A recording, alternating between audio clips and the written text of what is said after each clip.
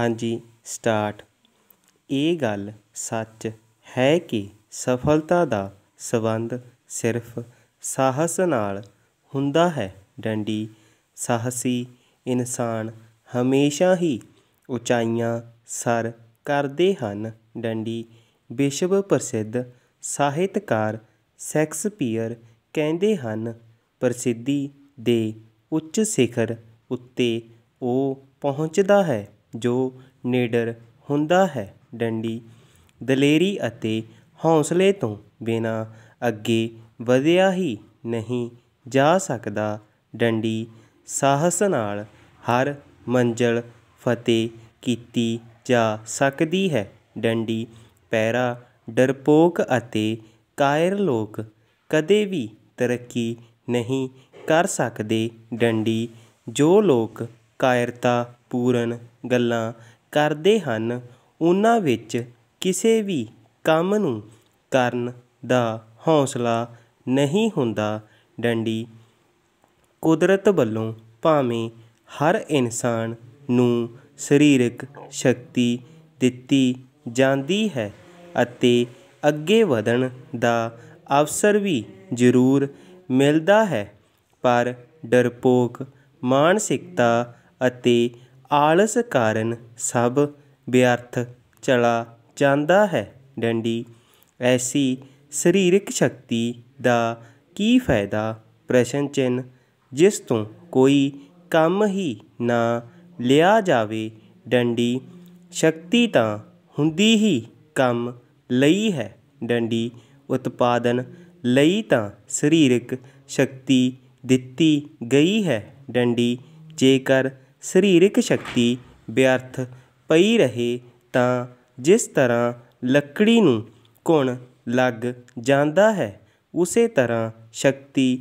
ਨੂੰ ਵੀ ਘੁਣ ਲੱਗ ਜਾਂਦੀ ਹੈ। ਡੰਡੀ, ਪਰੰਤੂ ਸਾਹਸੀ ਵਿਅਕਤੀ ਆਪਣੀ ਸ਼ਕਤੀ ਨੂੰ ਕਦੇ ਵੀ ਘੁਣ ਨਹੀਂ ਲੱਗਣ ਦਿੰਦਾ। ਡੰਡੀ, ਉਹ ਆਪਣੇ ਅੰਦਰ ਦੇ ਸਾਹਸ ਨੂੰ ਕਦੇ ਵੀ ਮਰਨ ਨਹੀਂ ਦਿੰਦਾ। ਡੰਡੀ, ਉਹ ਆਪਣੀ ਅੰਦਰੂਨੀ ਸ਼ਕਤੀ ਦੀ ਪਹਿਚਾਣ ਕਰਕੇ ਸਮੇਂ 'ਤੇ ਉਪਯੋਗ ਕਰਦਾ ਹੈ। ਡੰਡੀ, ਉਹ ਹਰ ਕਦਮ ਦਲੇਰੀ ਨਾਲ ਪੁੱਟਦਾ ਹੈ। ਡੰਡੀ, ਅਨੇਕਾਂ ਅਜਿਹੇ ਜਾਦੂਈ ਉਦਾਹਰਣ ਮੌਜੂਦ ਹਨ ਜਿੱਥੇ ਲੋਕਾਂ ਦੁਆਰਾ ਸਫਲਤਾ ਲਈ ਦਿਖਾਏ ਸਾਹਸ ਨੂੰ ਦੇਖ ਕੇ ਸੰਸਾਰ ਦੰਗ ਰਹਿ ਗਿਆ।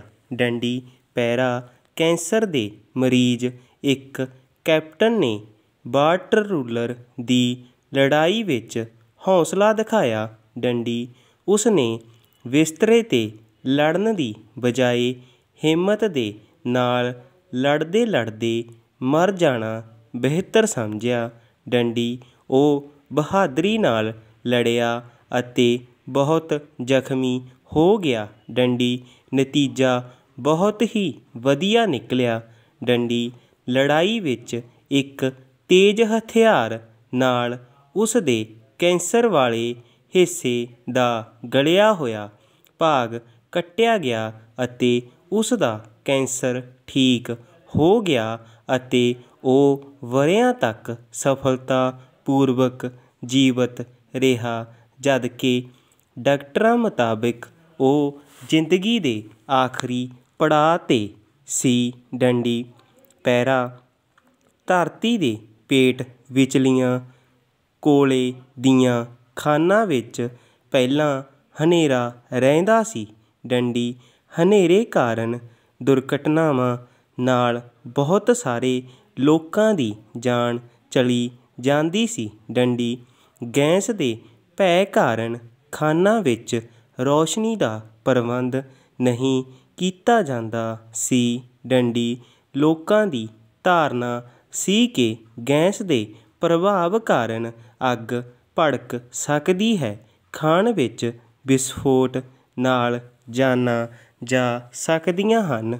ਡੰਡੀ ਬਿਜਲੀ ਦੀ ਉਦੋਂ ਖੋਜ ਨਹੀਂ ਹੋਈ ਸੀ। ਡੰਡੀ ਉਦੋਂ ਇੱਕ ਸਾਹਸੀ ਵਿਅਕਤੀ ਨੇ ਵਿਸ਼ੇਸ਼ ਪ੍ਰਕਾਰ ਦਾ ਦੀਪ ਬਣਾਇਆ ਅਤੇ ਉਸ ਦਾ ਪ੍ਰਯੋਗ ਵੀ ਖੁਦ ਕੀਤਾ। ਡੰਡੀ ਸਟੋਪ।